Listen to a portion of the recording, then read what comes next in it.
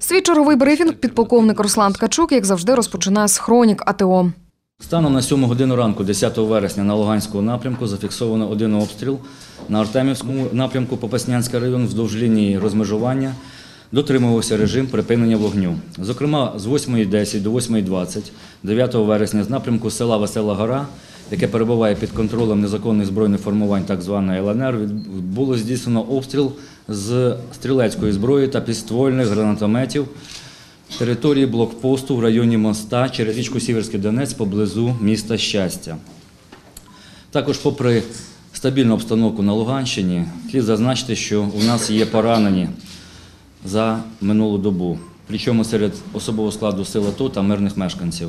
Зокрема, за інформацією Головного управління МВС у Луганській області, вчора, 9 вересня, до Новайдарського районного територіального медичного об'єднання з ушкодженнями у вигляді проникаючого осколкового поранення було госпіталізовано військовослужбовця підрозділу Збройних сил України 1967 року народження.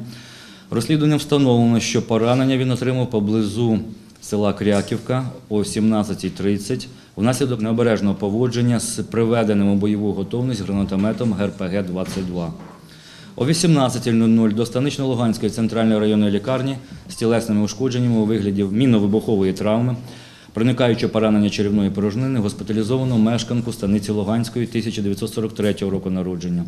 Встановлено, що ушкодження пенсіонерка отримала вчора о 17.40 на своєму городі внаслідок вибуху невстановленого вибухового пристрою, який потерпіла, зачепила сапою. Цілому підрозділи сил АТО повністю контролюють ситуацію на Луганському та Артемівському напрямках і перебувають у готовності дати відсіч будь-яким агресивним діям, додав Руслан Ткачук. Далі він представив журналістам гостя Олександра Бригинця, радника міністра з питань забезпечення функціонування телерадіомовлення. Він розповів про роботу міністерства щодо боротьби з російською пропагандою як один з варіантів відновлення мовлення українських каналів на тимчасово окупованих територіях. Це процес складних і вимагає певних фінансових затрат, зокрема на встановлення передавачів сигналу.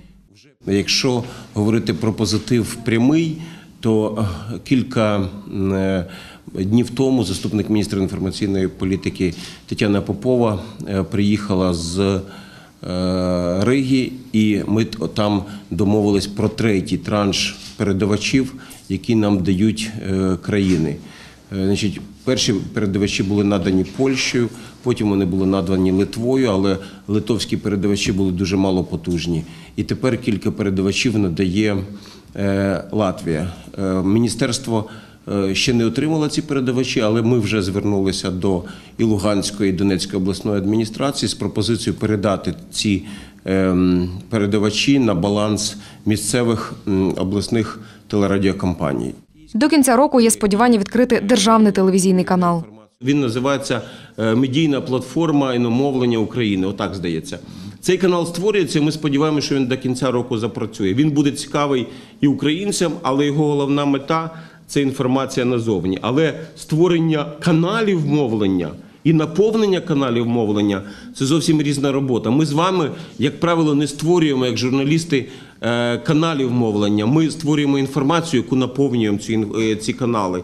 І таким чином, головна мета сьогодні це зробити все можливе для того, щоб е, кожен чиновник, який несе відповідальність, яку б він посаду не займав, звітував перед журналістами кожного місяця не просто загальними словами, а конкретною роботою, починаючи від керівника військово-цивільної адміністрації чи районної ради до керівника міста.